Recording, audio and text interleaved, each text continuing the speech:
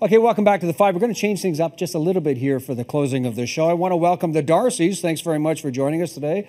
We've seen you in the bumpers, and uh, kids are seeing you at the high schools. Tell me about why you're playing high school. Well, our playing school uh, program is kind of founded around the fact that we were all in music as kids in school, and it meant a lot to us growing Sure. up. And uh, budget cuts are always kind of threatening to take it away, and so we want to create a conversation with the students, you know, who it affects. you want to encourage kids to pick up real instruments and play real songs, right? Exactly, and there's so much that can come from arts education in general, not just in music, and not just being a, a musician yourself. So you want to promote that in the schools. Great. You guys ready to go? Let's do it. Okay, here they are, the Darcys on the five.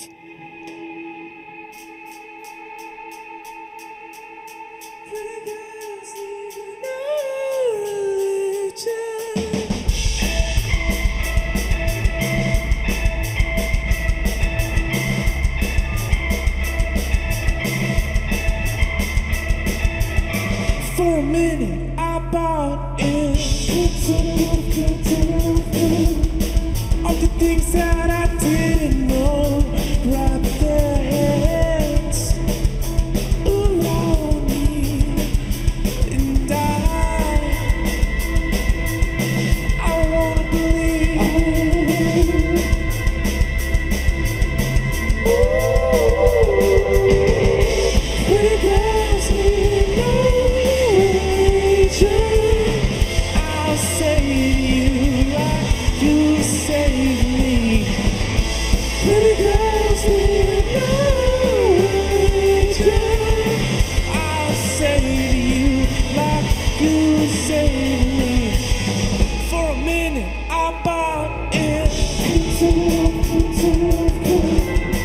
All the things that I should